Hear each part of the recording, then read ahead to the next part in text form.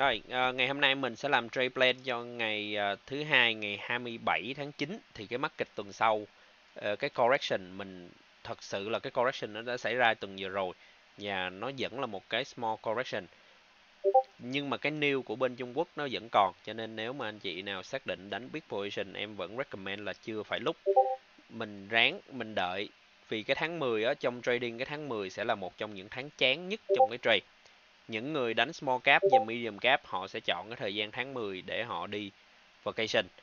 Thứ hai là tại vì nó hết cái mùa earning rồi mấy anh chị có thể check cái mùa earning tháng 10 gần như là hết rồi, cho nên những cái người trading họ sẽ không có look for cái potential trong tháng 10 tháng 10 rất có thể là một, sẽ một cái tháng rất là nhiều con stock nó bị sideways. Cho nên chị nhớ mình đánh một cái small position và mình cũng phải expect bất kỳ lúc nào, market cũng sẽ có một cái correction again nhưng mà không có phải không nghĩa là mình không kiếm tiền được ha lúc nào cũng vậy chuẩn bị sẵn cash is king trong cái thời điểm này đừng spend quá nhiều tiền anh chị cứ đánh ráng đánh day trade một ngày kiếm 50 đồng 100 đồng gì đó hold cash đừng buy bất kỳ cái gì big position trong thời điểm hiện tại Rồi. À, những con mà ngày mai mình sẽ đánh là ADFN, Snap, Facebook, Costco và Tesla. Rồi. Thứ nhất là ADFN mình sẽ sử dụng chạc 30 phút ở cây nến ngày 24 tháng 9 mấy anh chị sẽ thấy mình có một cái leg candle ngay chỗ này mấy anh chị sẽ vẽ ra một cái base. Rồi và mấy anh chị nhận thấy ở cái chỗ này là IDFN nó đã break out qua khỏi được cái cái uh, base của mình ngay chỗ này. Thì cái nhiệm vụ của mình ngay đây là gì? Làm gì? Làm anh chị phải bọc cái đầu candle uh, cái chỗ break out ra 54 52 và cái đuôi của candle là 53 27. Đây sẽ là cái trading range của ngày mai, anh chị có thể qua khung nhỏ hơn tí xíu. Rồi, thì đây sẽ là trading range ngày mai. Ở khung 5 phút nó tiếp xúc cái trading range này bằng một cây nến doji hay cũng có thể là spinning top. Rất có thể ngày mai nó sẽ reject cái key level 54 52.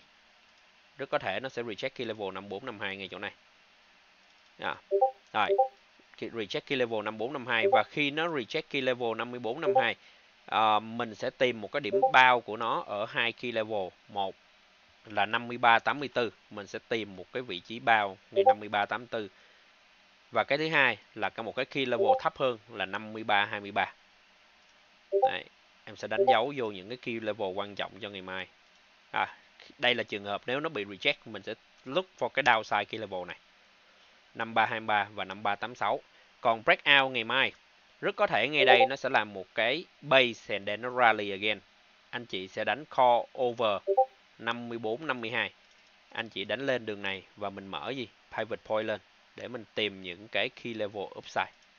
Đây, và key level upside gần nhất là anh chị thể thấy là cái pivot point của ngày trước là 55 48 55 88 và hơn nữa là 56 89 đây sẽ là những cái key level upside cho ngày mai à, rồi breakout là 54 à, 52 những key level downside là 5386 và nếu thật sự mà anh chị muốn put con này anh chị chỉ put nó downside 5280 đây sẽ là những dùng mà mình lưu ý. Rồi trade plan một con. À, trade plan em làm rất đơn giản mình đánh theo key level cho nên mình không cần một cái trade plan phức tạp. À, anh chị đợi em xíu ha để em bot qua bên cây táp cái one second one second. Day trade ngày mai là ngày 27 9 gặp 27 ồ mai 99 luôn nè. À, A D F N. Rồi tiếp theo, con tiếp theo mình lưu ý là con Snap. Cái con Snap này nó cùng sector với lại cái con Facebook cho nên ờ, đợt vừa rồi nó cũng có một cái drop, nó cũng có một cái cái drop khi mà Facebook nó bị dính cái bad news. À, Facebook nó dính bad news nhưng mà nó quay lại nhanh hơn Facebook thì bây giờ mấy anh chị mở khung daily lên. Đầu tiên là mình draw out một cái gap ở khung daily. Anh chị vẽ hướng này. Rồi, thì đây sẽ là một cái box này sẽ là một cái key level rất cứng nếu như Snap muốn quay trở lại xu hướng downtrend vì hiện tại nó đang uptrend key level này sẽ là một key level rất cứng anh chị sẽ hạn chế đánh put trong cái thời điểm hiện tại của Snap từ giá 64 6310 cho tới 7420 à, anh chị chỉ entry put khi nó rớt vô ngược lại 7420 và rất có thể nó sẽ phi cái gap down dưới này. Còn ngoài ra hạn chế đừng chặn đầu xe đó nha. Rất là nhiều anh chị đã quyết định chặn đầu xe náp á cho nên đừng chặn đầu xe náp rồi quay ngược lại không ba chút tí xíu à anh sợ anh chị chặn đầu xe cho nên em phải vẽ key level ra. Rồi về phần con snap, anh chị thấy ngay đây mình có một cái leg candle rất là đẹp. Vẽ riêng ra cái gì? Một cái base candle. Rồi. Ngày mai nếu như snap vẫn tiếp tục over 8250 anh chị có thể đánh một cái lệnh kho over 8250 hiện tại là đã qua rồi. Nhưng mà nếu như nó cần bắt test thì key level sẽ là 8243 bắt test về đây, mình có thể cảnh một cái lệnh đánh lên tiếp tục. Còn mình chỉ put short term khi nào? Khi nó rớt ra khỏi cái base ở key level 8168 anh chị chỉ put hướng này thôi nha. Chứ chứ chứ không put swing long term nha. Đây, hai key level. Một là breakout 8315 hai là nếu như nó hồi mình sẽ chờ nó hồi về 82 43 và mình chỉ put khi under 81 68 nha nói lại à đánh breakout over 83 15 và nhịp bao là ở 82 43 và đánh put nếu như under 81 68 Đấy. đây là snap. Rồi, con tiếp theo Facebook. Facebook rất là potential đánh ngay chỗ này nha anh chị. À, thứ nhất á, là nó bị rớt by news and then nó làm ra một cái gap. Đây nó làm ra một cái gap và nó đã trôi vô cái gap này rồi. Rất có thể những ngày tới nó sẽ fill cái gap này một lần nữa. Nhưng mà mấy anh chị lưu ý ngay chỗ này mình có một cái Ryzen West, mình có một cái Ryzen West rất là risky. Tại vì nó fill gap nhưng mà nếu mà nó chạy như vậy rất có thể nó bị sẽ drop down cái full cái cái rising West ra. Và ngay cái chỗ này là bắt buộc nè. Bắt buộc. Ngày mai mình coi coi nó có rớt out ra không.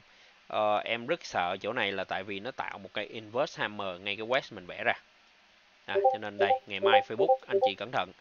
Ngay chỗ này sẽ có hai trường hợp nó xảy ra. Một là nó rớt về đâu. Nếu như nó rớt ra khỏi cái west này em nghĩ nó sẽ hô được chỗ thứ nhất là 351 33 chỗ thứ hai nếu như nó rớt nặng hơn thì nó sẽ rớt về 350 03 và tiếp tục nếu rớt tiếp thì sẽ về vùng 347 24 rồi còn nếu như mà nó break out ngay đây có thêm một cái key level nữa. Tiếp tục break out anh chị nếu như anh chị muốn đánh swing dài tí xíu bắt buộc anh chị phải đợi nó break hoàn toàn qua 357 24 ha mình chỉ đánh long ngay chỗ này thôi. Còn ngay đây rất là risky cái hướng xuống tốt hơn cho Facebook trong thời điểm hiện tại. À, đây hướng xuống sẽ tốt hơn. Mình chỉ đánh lon khi nó ra khỏi cái box này. Đây vẽ cái box ra ha. Đây anh chị chỉ đánh lon khi nó ra khỏi box này. Đây còn không nó đang trong một cái rising wedge bất kỳ lúc nào nó cũng thể rớt ra đây. À, đây. Còn uh, đây key level downside cho anh chị luôn ha.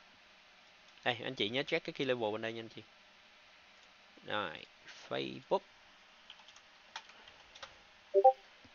Đây, con tiếp theo là con Costco. Trời ơi, nó breakdown nó chạy, breakout nó chạy quá cho chạy luôn. Rồi, con này bây giờ mình vẽ ra những cái chỗ nào mình cần phải lưu ý. Thứ nhất là bây giờ nó chạy rất dễ nó bu back và mình phải biết được nó bu back về đâu. Rồi, đầu tiên mình sẽ tìm một cái key level nếu như nó rớt ngược lại thì nó sẽ đi rớt xuống đâu gần nhất. Right here. Tại sao em chọn ngay chỗ này? Thứ nhất là nó đã từng reject ngay đây, resistance, và nó đã được hô giá tại support. Và gần nhất, nó có một cái nến rút chân ngay đây. Dựa vô ba cái điểm đó, mình pick out một cái key level ở 465 75 đây, là key level thứ nhất. Key level thứ hai, nếu như nó rớt thêm, anh chị thấy ngay đây nó có một cái gap. Hai chỗ này sẽ là key level downside tiếp theo của nó rồi bây giờ mình bắt đầu tìm upside. Uh, con này khung 30 phút nó đóng bằng một cây inverse hammer. Mình tìm coi bên đây. Đây có key level anh chị ha. 1 2 3 4 anh chị vẽ ra. Và mấy anh chị thấy nó rút chân rất là nguy hiểm anh chị thấy không? Nó rút chân nè rút chân ngay đúng cái key level. 46822 và một cái upside ngay đây nữa. Rồi.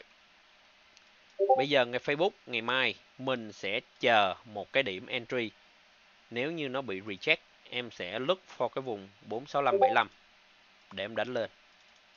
Hoặc là mình sẽ tiếp tục mình put nó xuống chỗ này. Rồi mình anh chị thật sự nếu anh chị muốn đánh ờ, uh, call long Facebook thì I mean Costco bắt buộc Costco phải qua 46977 muốn go long tới tháng 1 12 tháng 1 gì đó là bắt buộc nó phải qua 46977 còn không nó sẽ bị reject. Và em nghĩ cái range mà nó sẽ chạy trong thời gian sắp tới á là sẽ around 46287 cho tới 46822 chứ chưa break out liền đâu. À, mình sẽ chờ nó đánh trong cái thời điểm này. Cũng là một cái rank khá tốt á 4 tới 6 điểm lận. Còn nếu mà muốn go long tới cuối năm bắt buộc phải đợi nó qua 46977 hmm. Rồi. đây key level mấy anh chị nó xuống hết à đây, đây một cái base select nữa nè. Để em vẽ cái này đằng cái. Rồi. Ok, thì đây là Costco. Này, con stock vẽ ra nhưng không bao giờ chơi. Tesla. Rồi, Tesla ở khung 30 phút. Điều đầu tiên anh chị lưu ý là gì? Tesla tạo rất nhiều base candle. Anh chị bắt buộc phải vẽ ra hết. Một, ngay đây. Rồi để em coi bên tay trái có gì không? Bên tay trái ừ, có một cái key level ngay đây. Một hai. Rồi mình quay ngược lại. Oh, nó bao rất đẹp nè mấy anh chị thấy không? Mình bắt cái key level từ đây với chỗ này anh chị thấy nó bu bắt gì nó đi tiếp. Rồi thì ngày mai anh chị phải làm gì? Với cái cách đánh của em lúc nào em cũng lưu ý tới những cái big candle. Một hai. Cái trade rank của ngày mai mình sẽ quyết định khi mà ở trong cái vùng 770.75 770 73 75 gì ha? Và 774.54 đây. À, sorry chị để em đổi lại cái này. Một trong hai key level này ha. Rồi bây giờ mình sẽ qua khung nhỏ. Mình coi coi nó đã react cái khung này như thế nào. À, tất cả khung nó đều dẫn tới cái trường hợp là nó sẽ test 77454 ngày mai. 77454 coi coi trong quá khứ nó có đụng key level nào.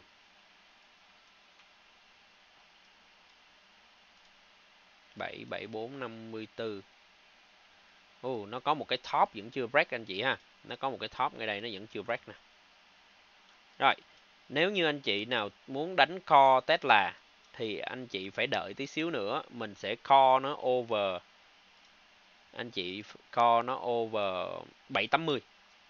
Nếu anh chị muốn call Tesla bắt buộc phải đợi nó over 780. Sau đó anh chị mở pivot point lên, mấy anh chị call những key level upside và mấy anh chị sẽ put Tesla ở cái đoạn Wow, hơi sâu quá nha.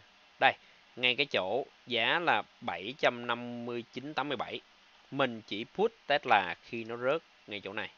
Còn ngoài ra anh chị đừng đụng tới nó vào ngày mai. Vì xu hướng của nó vẫn còn rất bullish ở khung lớn. À, vẫn còn rất bullish ở khung lớn. Rồi. Hai hướng à, ngày mai chỉ đánh như vậy thôi anh chị à. Đây là cái breakout nếu breakout 77455 rất có thể sẽ chạy tiếp lên 78009 và hoàn toàn breakout khi qua được 78009 hoặc là anh chị có thể đánh như vậy. Rồi đây ha hai đoạn nhỏ nhưng mà muốn ăn tiền nhiều thì phải đợi under 75987 rồi test là TSLA rồi thank you mấy anh chị.